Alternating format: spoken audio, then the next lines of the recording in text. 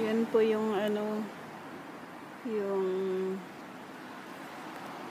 ah, tinginan ng autobus pag naghihintay po sa bus. Ano naghihintay sa bus mga bus stop. Ganyan po yung ano ganyan po yung ah, tinginan namin dito pinapaandar yan ng solda or yan nasa taas niya.